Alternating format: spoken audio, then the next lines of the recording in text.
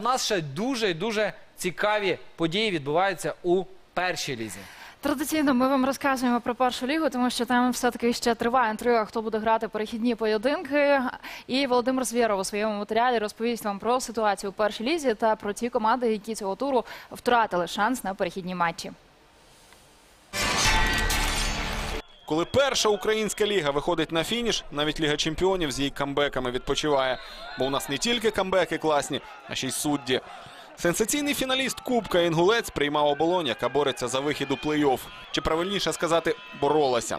Захисник Інгульця Кучеренко бив, бив, не забив. І в хрестовину, і в порожній кут.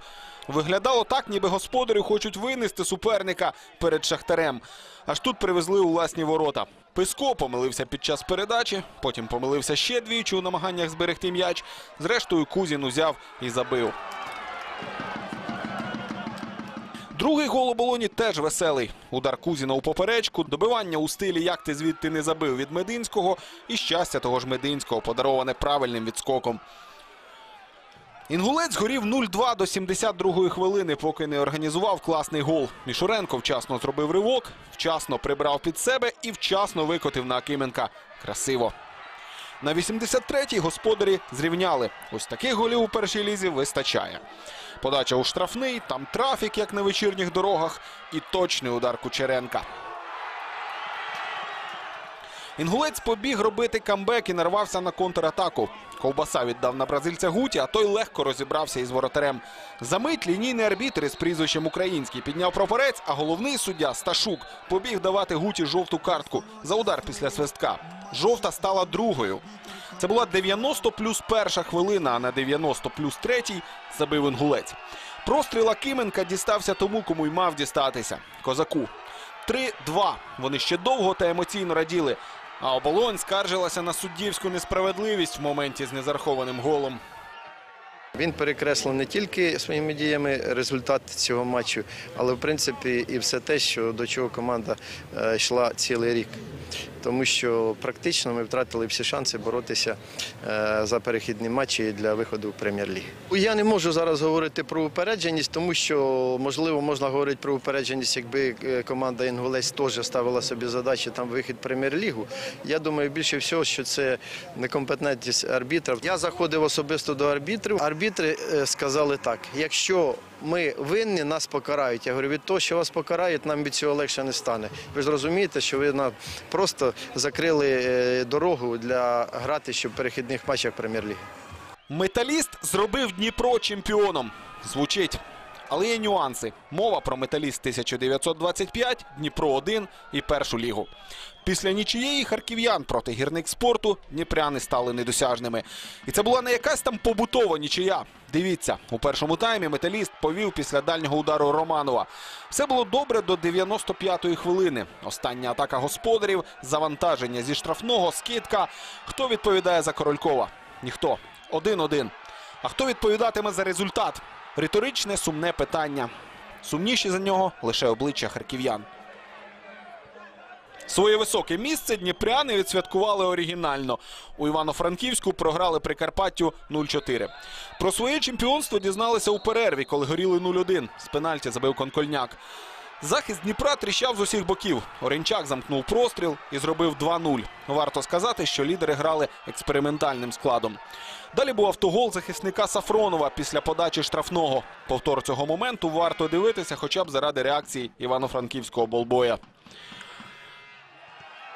Дитко добив незвично слабких гостей теж щиро порадів. 4-0. На тому й роз'їхалися. Хто із класним результатом, хто із золотом першої ліги.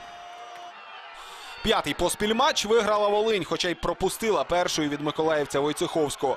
Але для лучан це не було великою бідою. У всіх цих п'яти переможних матчах Волинь хоча б раз та й пропускала. Питання у характері. Бартулович заробив пенальті на останніх секундах першого тайму, і Кожанов забив. 1-1. Переможний гол Волині називається робочий. Хахназарі у боротьбі втримався на ногах, прострілив на Кожанова. Удар, рикошет від ноги, стійка і добивання Волошиновича у порожні ворота.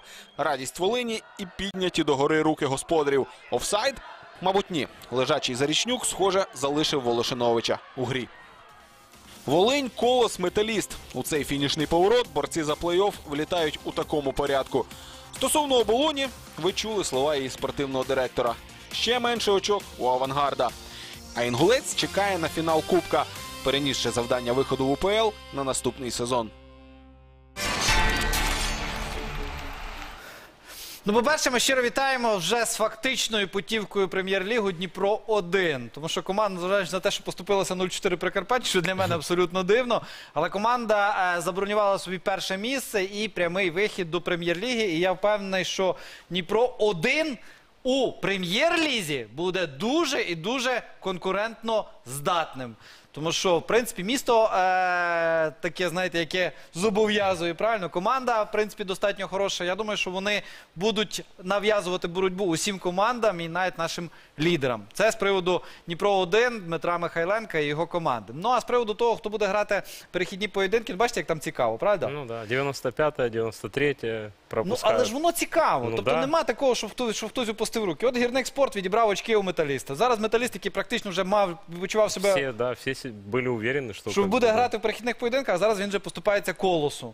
І Волинь підскочила, яка там програвала, але виграла 2-1. Колос свій поєдинок так само виграв. Тобто, в принципі, достатньо цікаво. Дуже шкода оболонь. Знаєте, дуже шкода, тому що ну, якось воно все не так виглядає, як мало б виглядати. Неорганічно. От, чесно, чесно кажучи, по відношенню до оболоні.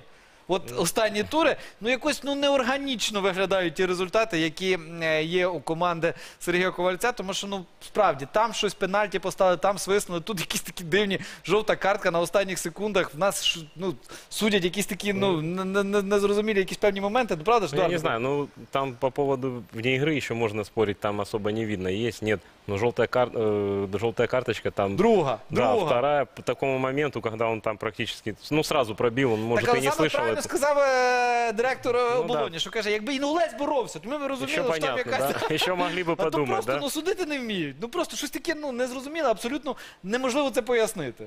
Але результати сожалению. оболоні, вони, в принципі, недостатньо органічні. Скажімо так, в лапках.